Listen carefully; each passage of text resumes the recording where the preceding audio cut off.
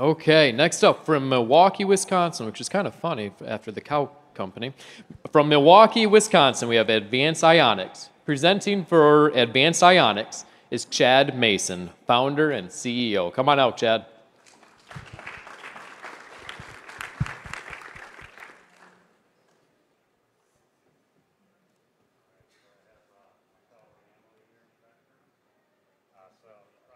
Oh, your mic's not on. Can we check his mic? Give it another go.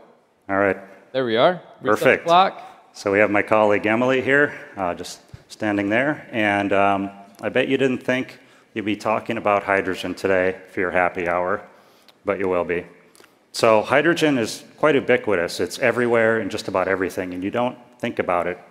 Um, so take your plastic cup, for example, the items in your cell phone, even the food you eat or the beer that you drink.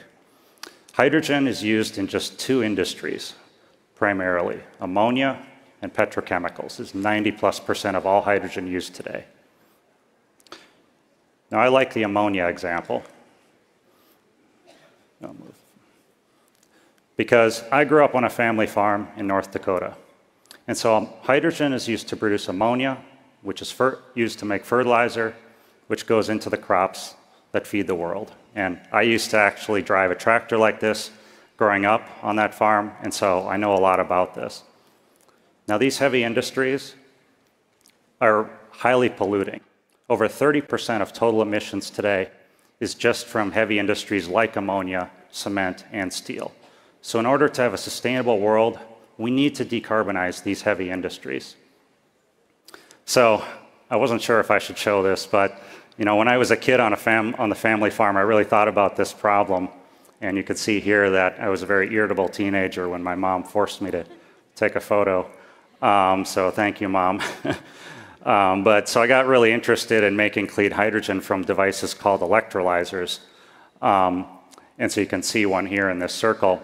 And one of the key things about electrolyzers that you need to know is they use a lot of electricity.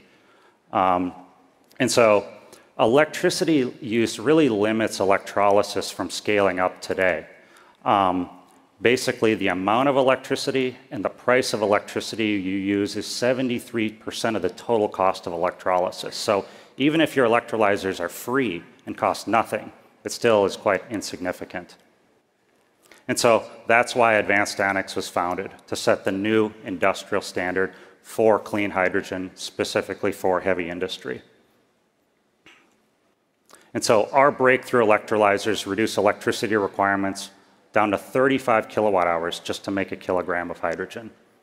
And we do this with our amazing Symbiont technology, and it does what other electrolyzers can only dream of doing, eliminating the delicate membrane or brittle ceramics seen with everything else. And so this platform architecture is quite amazing because we have no rare materials and no toxic fluoropolymers. Everything's recyclable. We build our own materials and our own system all under one roof. So let's go to our friends in Milwaukee, Wisconsin. And we have Owen and James there who will take care of us. So on the lower left, you can see our test cell, which is a button cell, which is how we proved our breakthrough performance last year. And then amazingly, we've scaled that up 20x this spring and are validating that right now. Furthermore, we've scaled that up another 8x and are going to start validating that early next year. We also have a bipolar plate there, another key component. Now, all of this secret sauce goes together, and if we pan to the left and up, it goes inside of this insulated box up here. And so this is where the magic happens. Steam is converted to hydrogen and oxygen at the highest efficiencies possible. And then down below is the rest of the balance of plant, and that's what feeds the cell and keeps everything running happy. So move back from demo, please. Thanks, Owen. Thanks, James.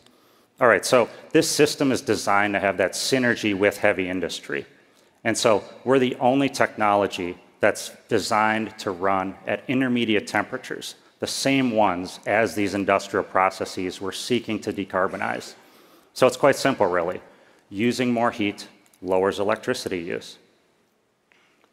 And so we have amazing traction with partners that we're working with right now to take that stepping stone approach to proving the technology and getting into market, starting with chemicals and then next to energy services and further my favorite one, ammonia, and then beyond. And we have customers already asking us for systems even in 2026 and 2027. So we're ready to start building out our sales pipeline even at an early stage. And so for commercialization, I mentioned the demonstrations in 2023 and 2024, and then early commercial units in 2025. And then bigger units are going to be deployed starting in 2026 and 2027 for that massive impact that we seek to have. So by the end of 2030, we're going to have over $2 billion in cumulative sales booked, and more importantly, abating over 10 gigatons per year of emissions by the year 2050, just with our technology alone. And so we're going to have this amazing future where dirty fossil hydrogen has been replaced with clean hydrogen from Advanced Ionics electrolyzers. And that dream I had as a kid of clean hydrogen, making clean ammonia for farms such as my family's will finally be realized. And so come build this future with us. We have an amazing team with great background in heavy industry and also amazing military background that a few of our individuals have. So come join us, be part of massive industrial decarbonization. So thank you. Bad clicker. Uh, thank you, Chad. And I'm pretty sure everyone out here has those embarrassing photos building things. You're it was, alone. It was a little tough for her to find that. So, I'm glad she did. yeah. All right, Peter, let's start with you. for sure. Love the personal experience and the, the connection you have. Um, maybe tell us a little bit about so you outline a super ambitious goal, you know, two Uh-huh. billion, you know, by by 2030. Um, Yeah. We'd love to see you accomplish that plan. Yeah. Um, what are the the technology risks of kind of continuing to scale up that you need to advance through over the next year to approach commercialization? Like, what are like the technology risks that may slow you down? Um, it's not so much technology risk, it's a matter of putting stacks and testing them and getting those hours. Okay. Um, a lot of customers think of the 1,000 hour mark as the baseline for what they want to see to move forward. Okay. And so everybody's telling us, like, okay, get a stack, run it 1,000 hour, hours, and then let's move forward.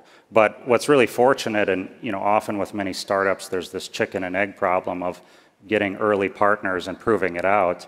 We've been very lucky to have some really amazing early stage partners that are willing to take a risk and, and work with us, uh, even without um, significant hours yet.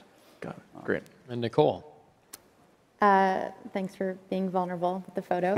Um, To to piggyback on on Peter's question, wh- what are the exogenous factors that might impact that rollout plan? Um, can you clarify a little bit? Oh, like not, not you um, uh, being able to execute the, the build internally, but rather like what are the, um, the things. industry tailwinds or, or potential challenges you might face?